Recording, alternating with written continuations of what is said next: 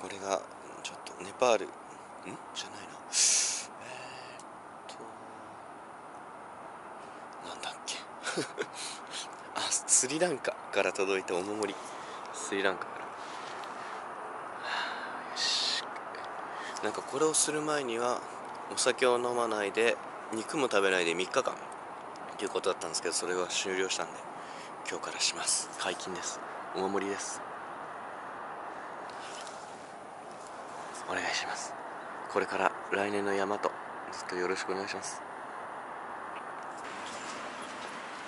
一番どうもありがとうございました。ごちそうさまです